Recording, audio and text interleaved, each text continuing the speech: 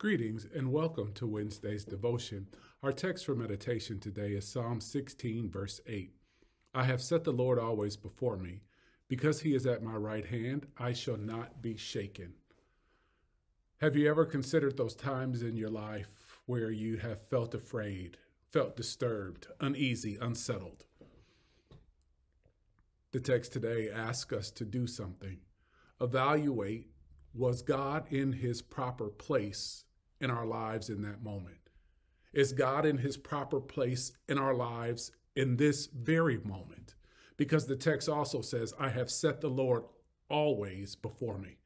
Do we allow God to lead and guide our every thought, our every word, our every step? Because when we do that, we know that we will not be shaken, that the things that we are walking in are ordained by God, that He will walk with us, He will go before us, He will protect us, He will guide us.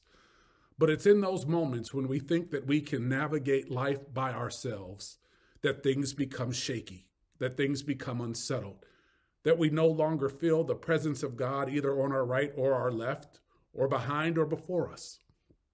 Beloved, I invite you to join me to making sure that we are always in proper alignment with God that He is always before us, behind us, and on every side. And in that way, we walk in His grace and in His mercy.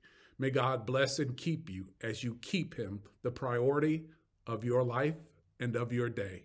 God's blessings to each and every one of you. Amen.